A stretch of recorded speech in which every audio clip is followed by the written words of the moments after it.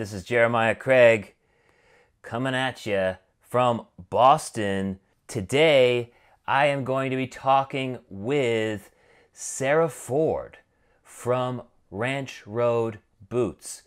And I'm really excited to have this opportunity. This is an Ask the Bootmaker sort of live stream. Hi, Sarah. How's it going? Good. How are you? I'm doing great. Wow. Thank you for joining me today. Yeah, of course. Thanks for having me. Helping helping all of us pass the time. I hope you're holding up okay with everything that's going on. I got some questions here from everybody and also some ones that I put together. Uh, I'm wondering if you can kick us off with a quick little origin story of Ranch Road Boots and uh, what got you into this for everybody who's really not familiar with Ranch Road. I grew up in San Angelo, and my grandfather, Daddy Tom, was a big influence in my life. Just a ton of fun, um, and he was a legit cowboy back in the day. He he he moved to San Angelo with his family and started reading water meters after he was a cowboy. But he he broke horses for a living for many many years and it was just a big influence on me in general. It would always take me to the rodeo. Um, I didn't grow up riding myself. Um, he had he and my grandmother had four kids, and he didn't want any of them to learn how to ride because he wanted them to go to school. And so his his fear is if they started cowboying that they would drop out of school. And he was really you know they, he, never graduated from high school, so he was always really big on them getting an education, which is how I grew up with. Uh, you know, grandfather that's a cowboy, but dad that had nothing to do with horses at all. Um, so anyway, Daddy Tom though always had a great pair of, of boots, and his bootmaker he, he used to buy boots from M.L. Leddy's boot shop off the shelf that a custom customer would reject. They have they have quite a few boots in their stores if you go visit the stores that you can buy. Um, didn't work out or whatever reason for a customer. So my granddad never had a pair of custom boots himself, but he did. Um, he he he would always wear Leddy's boots, and so from a young age, um, he would always, you know, give me the the you know whatever I wanted, the pink Justin Ropers back in the day to the the lace wow. ones when those were those were in, which I think are super cool. Um, so Daddy Tom was just always a, a great, you know, great fun person for me to be around. I was the youngest of all the grandkids, and and so when I started a boot company, originally Ranch Road did only custom boots, and and I can go into why on that. But we we started in 2012 only doing custom boots, and I I, I just wanted like clean classic designs because I felt like a lot of the boots were really trendy looking, but they are they were well made and they could you know last forever, but maybe the styles wouldn't so much. So I, I always wanted to make like clean classic designs um, when I started it. Awesome. And I think you did such a great job, especially with the walker. I mean, clean and classic is, are the two things that come to mind when I look at this boot, without a doubt. In fact, a lot of other people have noticed that too. And one of the questions that actually came in from somebody on Instagram was what inspired the no toe stitching. So you're going in that clean, uh, that that clean style design. What what inspired that? Yeah, so I like whether you call them a toe bug or toe buggy or toe flower. I call it toe flower, but the I really do like toe flowers. Um, I and and so it's not that I I don't like them, but if you know if if we're, when we're sampling a product if i can't get it exactly right for the boot i prefer it to be totally like clean this mm-hmm. year uh, for spring actually we have a women's boot called the sagebrush and it has the, the simplest most i just love how clean the toe flower is on it we made a boot back in the day a packer style called the uh, Bee County and it it's um it had a similar just single stitch on there. It's almost it's just almost decor it is decorative. But um I, so I kind of go I don't I, I, go back and forth on it and it just depends on the boot. And I felt like with the walker um it looked just better just plain how it was. And so, you know, doesn't need to add it I didn't need to add anything else to that. So true. Same with the Capistrano. with I got the Walker, by the way. Um, what do you think about it in black? Oh, that would look so slick, without a doubt. Without a doubt. Would you keep it with the same stitching color too? Yeah, but so here's another question: What people would like more? Um, the stitching on. If you hold that up again, I don't have one with me. No worries. Um, the, that one, see, it's white on brown. So I've Mhm. done it white on black and then black stitching on black. And uh, it we ended up going with the black stitch on the black boot, so it doesn't pop out as much, but it's still really pretty. Um, and I'm kind of torn on it. I like it both ways. But if we do a production of it, it'll most likely be all black, including black stitching on it too. Black like the Capistrano black, not like the gray that you have for the Fayette. Yeah, yeah, cap like yes, like the Capistrano black. Awesome. That's that's so exciting. I'm I'm looking forward to seeing what that looks like. Another question. Yeah. um, I'd love y'all's opinion on too. So uh, the the uh, the kind of the Fayette is a distressed gray, and so um, the Walker is not distressed at all. And so another thing is like some people really prefer a more distressed look right out of the box, and others prefer to put the patina on themselves, like you know with just wear. How do you feel about that? I have always been the kind of guy that likes the clean look and then wears it uh, myself, and because it's sort of the the scarring that makes the personality mine, right? It's it's it's my boot. I know where I got a certain scuff or a certain scratch, and then sort of try to um, condition it and make it not as apparent or you know it's just it's the personality. So i personally prefer to have a clean boot and then make it mine through wear.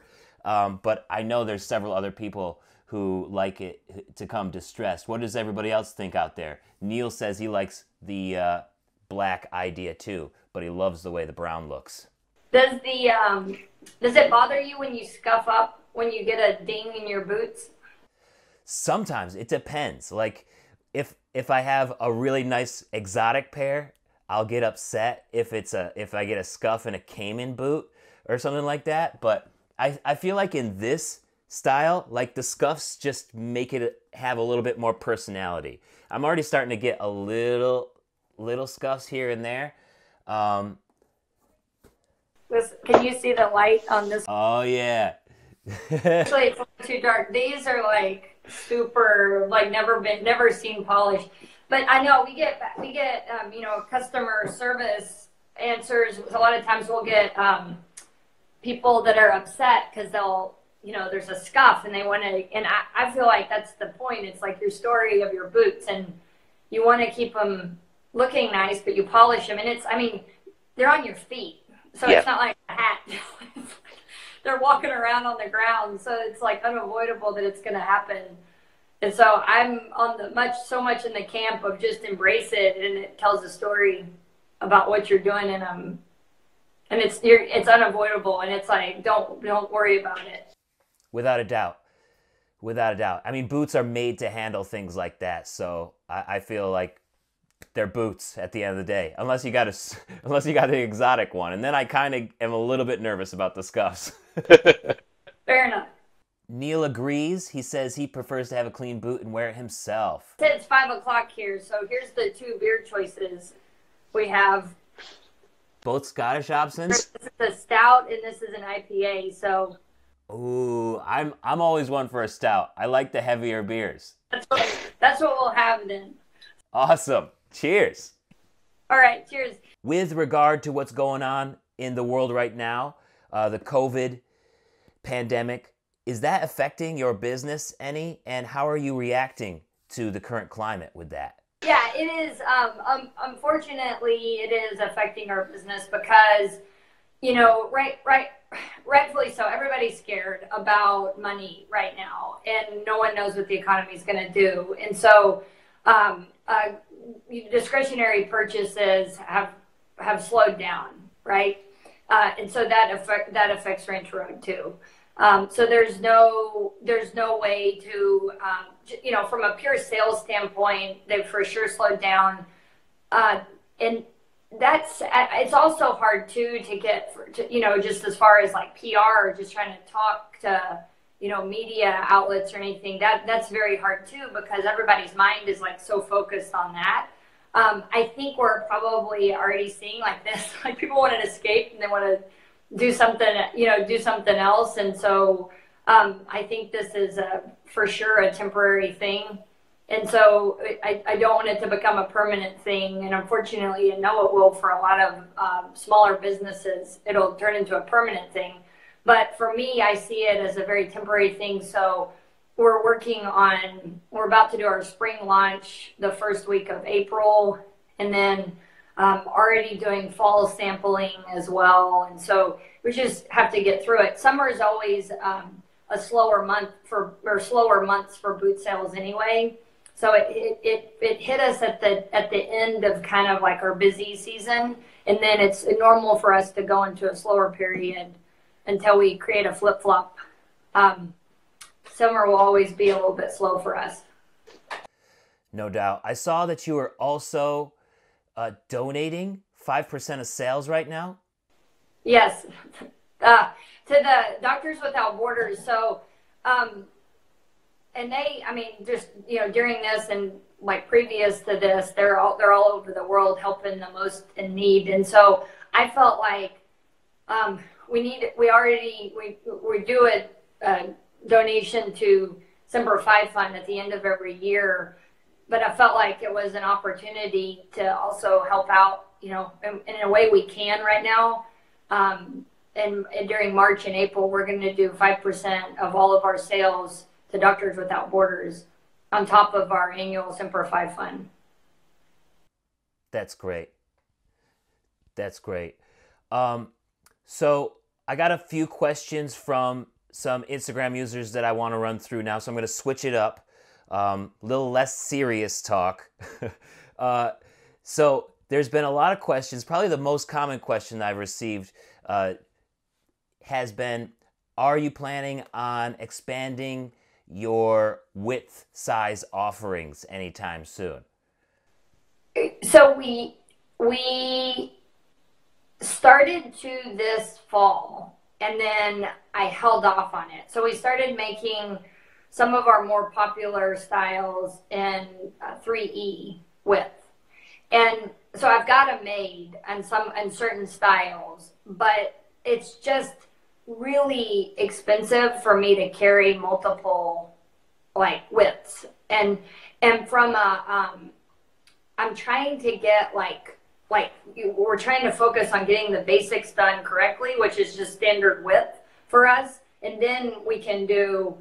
You know, we need to add shoe care and belts and widths. And widths is like the biggest thing we we hear demand for would be uh, in men's for uh, at least double E and maybe even three E in some of our more popular styles. So I hear you. I know we need it um, it's really a lack of it's a it's a kind of a bandwidth and a money problem for being able to stock it because I have to buy the boots or I have to pay to make them all before I can sell them to anybody.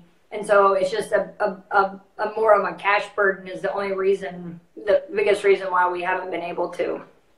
And you also have to get it right. So from a development perspective, we're, we're trying to do small releases, like so small spring, small winter, and um, and and and adding like widths. It's almost like you're testing like a whole new thing in addition to some new styles too. So that's why we haven't. That's why we haven't done it yet. Makes sense. It makes sense. That's a, a huge over. You're basically doubling your overhead when you introduce new sizes. Uh, I am wondering. Oh, here's a question that uh, came from Midnight Modder. Uh, he simply asks, "Why are your boots better than others out there?" Yeah. So, um, I think our boots are better because, first of all, there's over 250 steps that go into them. It takes longer to make them. They're harder to make. Our input materials, I believe, are better. Our leather quality is better. Um, and then just from a pure like business standpoint, um, people people I we have a pretty close relationship with our customers and you know it's pretty easy to to to, to find us the people behind the company. I'm a veteran um, so you know veteran owned business. So from a pure like product standpoint i think we're better. And then from a business like who do you want to buy from standpoint i think we're better. So that's why. Yeah i love it. Talking about the spanish leather i mean that is a, a famous leather. I mean there's even songs about spanish leather uh, can you tell me a little bit about what drew you to uh, to work with factories and, and Spanish tanneries and bootmakers? Mm-hmm. Some of it was um, so the, the the cool thing about the factory is there's there's not oh wait, wait I want to also say on the why we're better too. So mm-hmm. our price point are I want to over deliver on quality. So our boots are are for the price point, you can't find anything else out there at that price point that is as good as ours. So that's like the other big thing. I want when somebody opens their boots to feel like they got more than they paid for. So that's what we try to do. And if and and and you know you've you've opened them up and like you know what we're selling for, and so I feel like we're over delivering on value as well.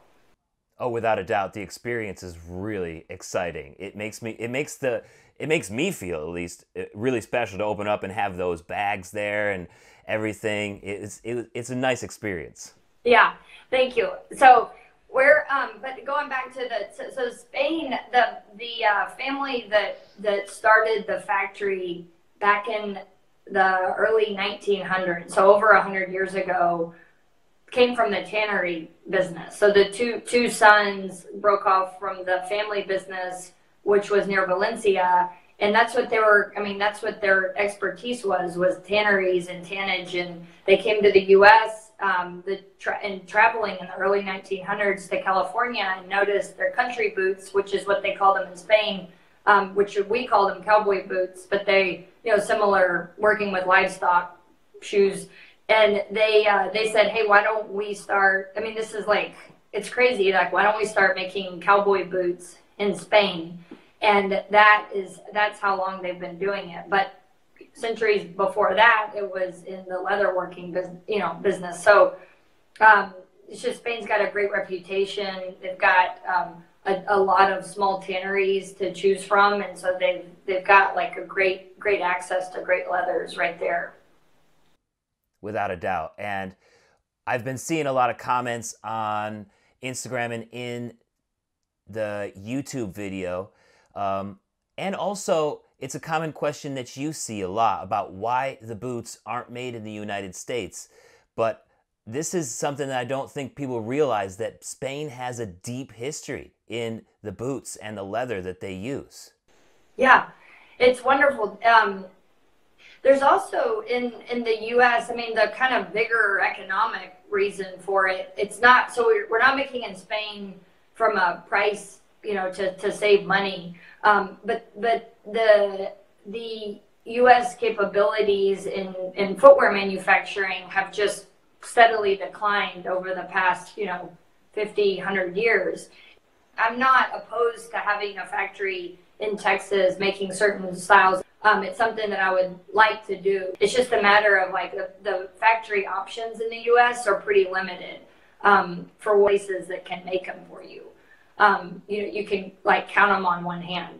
And a lot of them may be making for themselves or have non-competes and stuff. So it's just it's limited. It's not we're not making in Spain to save money. That's for sure. And you started in the U.S. as a as a custom maker. Yes, is that correct?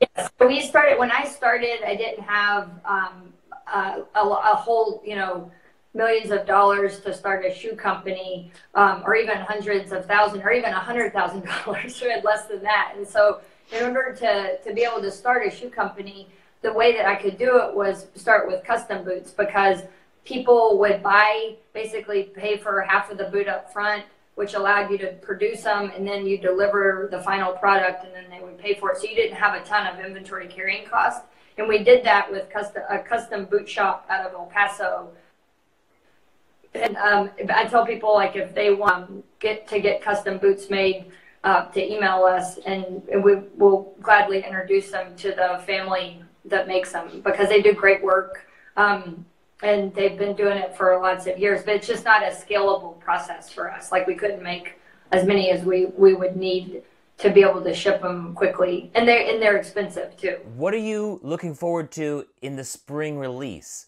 Uh, you mentioned that earlier uh, in this stream. Can you tell us a little bit about what you got coming?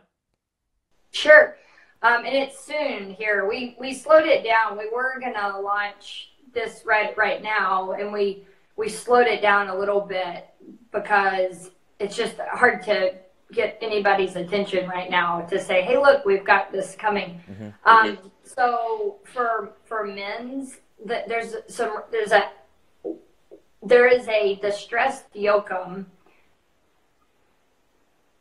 that that uh, that's going back to the do you like to distress it yourself or to come out of the box. So I do have men's style that's like coming men's the Aster lace up that I absolutely love love. And then the Johnny is coming in suede. It's oh, nice. oh nice. Beautiful. It's so cool looking, and it's coming in suede.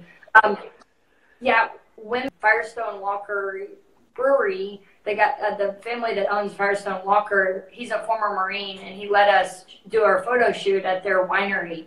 So it's out in like the hill, rolling hills of California. It's absolutely, it was so pretty.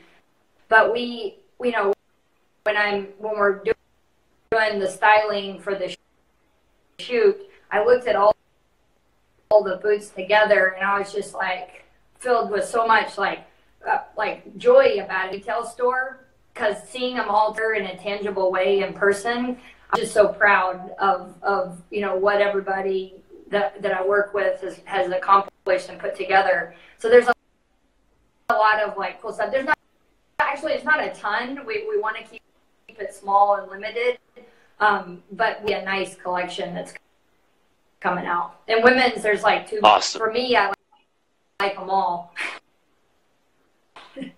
so, so it's uh, harder to pick on on the women's, but so we have some really cute white. Great. Well, I am looking forward to everything that. Uh, you're going to be releasing. And I just want to say thanks again for uh, partnering with me for the giveaway for the Walker slash Fayette. Um, this is a great boot, and I'm really excited to get these into on, on somebody's feet. Yes, thank you again uh, for your time, Sarah. I really appreciate it, and good luck with everything. Thank you. We'll be back in Texas hopefully soon. I'm a walker down that ranch road. I'm a walker looking so sleek and so bold. I'm a walker down that ranch road today.